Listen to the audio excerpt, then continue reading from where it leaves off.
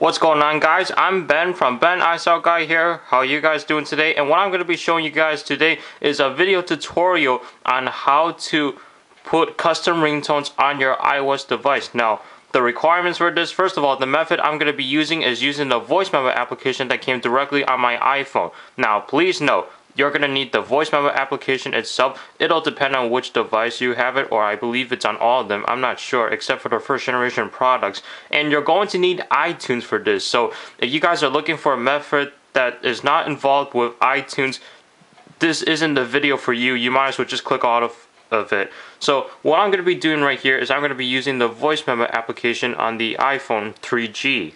So the voice memo application is basically an application where you can like record what you're hearing right now, like you can record your surroundings or something. You can record people talking or record a conversation. We're gonna be using this method to record a custom ringtone. Now, before we start, you'll have to like get a sound somewhere. In this case, I'm gonna be using the speakers that are plugged into my computer. And what I'm gonna do is play a song and then let it last for 30 seconds. After that, I am going to hit the record button. Now, look at this voice memo application right here. So you have like this red meter right here, right? You want to make sure it stays out of the red range because when it's in the red range, then you're going to be hearing your static in the voice recording that you're going to be using.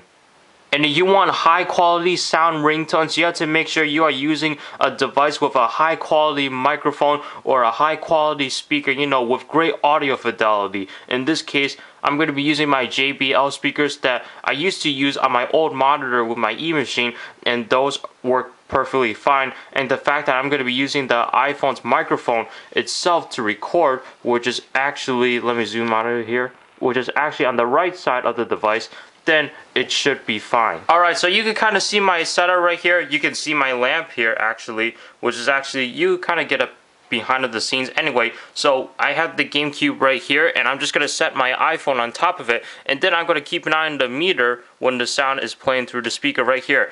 Just make sure you pick a part of the song that you are using that you want on your custom ringtone. Okay, so I finished recording my voice memo. Now what I'm gonna do is actually connect this to my computer so that way I can sync it with iTunes and then I can get the voice memo out from there. Now please note, if you don't want to sync it, you guys feel like it takes too long, you can email the sound to your email address and then you can take the file and drag it to your computer from there. So let's get on to the computer right now. Alright guys, so you are seeing my computer desktop and my iPhone right now. So what we're going to do is I'm going to connect the cable right here to my iPhone. Like so.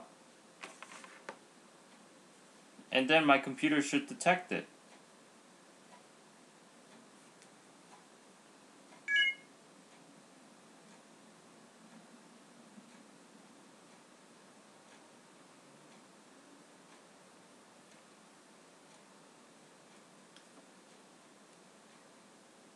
So as you can see, my iPhone is connected to iTunes right now. Just gonna let it sync.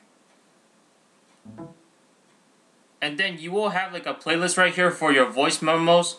Now, once you are done transferring your voice memo to your iTunes library, I have my voice memo right here. What I'm gonna do is actually click and drag that out, and I'm just gonna place that on my desktop for now.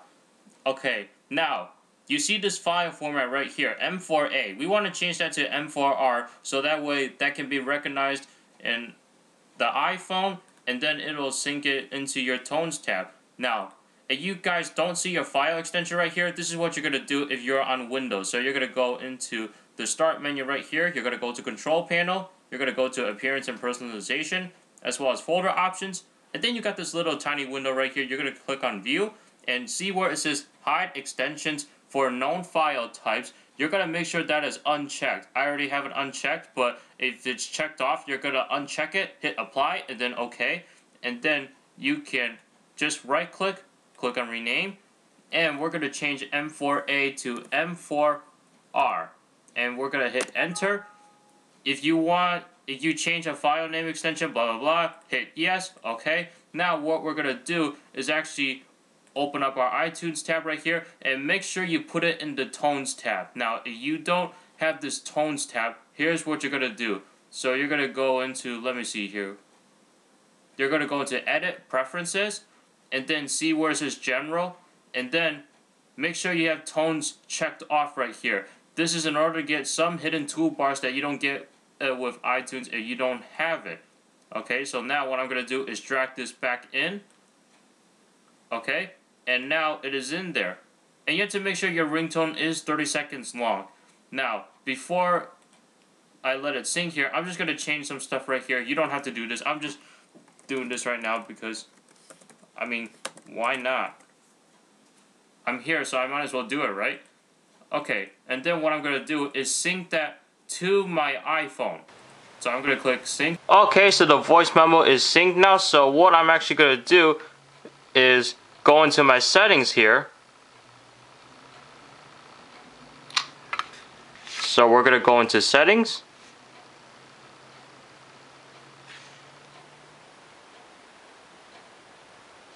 You're going to hit general. Or, uh, excuse me, sounds. Ringtone. And there is my ringtone right here. This is the ringtone that I edited in iTunes and then, or renamed I guess you should say. Alright, the cable's going crazy here.